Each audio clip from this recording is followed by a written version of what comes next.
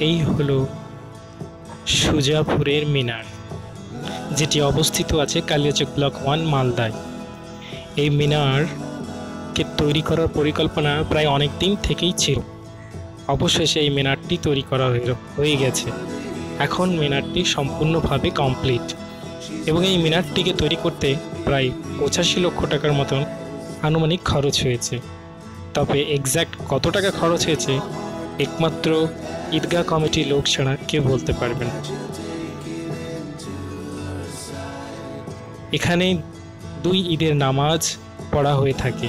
পাশে সমস্ত বিল্ডিং যেগুলো আপনারা দেখছেন, এটি হচ্ছে হাই স্কুল এবং সুবানিয়া হাই মাদ্রাসা।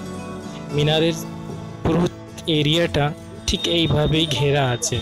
এনএস থার্টি ফোর পর্যন্ত ঈদের নামাজ হয়ে থাকে। লোকের জমায়েত এতটাই বেশি হয়ে যায় যে শেষ পর্যন্ত এনএস থার্টি ফোরের উপরেও লোক নামাজ পড়তে থাকে। আর এই মিনারকে পরিকল্পনা করা হয়েছিল অ্যাকচুয়ালি চাঁদ দেখার জন্য। কারণ এর আগে সুজাপুর ঈদগাহ কমিটি ঈদের চাঁদ দেখার জন্য প্রায় অন্য অন্য জায়গায় ফোন করে থাকতেন।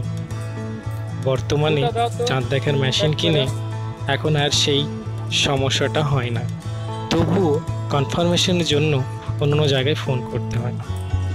সুজাপুরের ঈদগাহের এনএস থার্টি ফোরের পাশে ঠিক এইভাবে মার্কেট ও বাজার বসেছে। দেখতে পাচ্ছেন। আর এইভাবে পাশেই রাখা হয়েছে ঈদগাহ কমিটির সামনে। ঠিক এইভাবে কার পার্কিং এবং ট্রাক পার্কিং করা হয়েছে। রাস্তার অবস্থা এতটাই বেহাল। এখনও পর্যন্ত এনএস থার্টি ফোর ঠিক করা হলো না। প্রায় পাঁচ বছর ধরে ঠিক এইভাবেই পড়ে আছে। কী কারণে এটা পেন্ডিং আছে? এনএস থার্টি ফোর সে কারণ এখনও দেয়নি। যদি আমাদের ভিডিওটা ভালো লেগে থাকে, আপনারা প্লিজ আমাদের চ্যানেলটিকে সাবস্ক্রাইব করুন এবং আমরা লোকাল খবরগুলো আপনাদের কাছে পৌঁছে দেব। সাবস্ক্রাইব করলে আমাদের নোটিফিকেশন আপনাদের কাছে সবার আগে যাবে।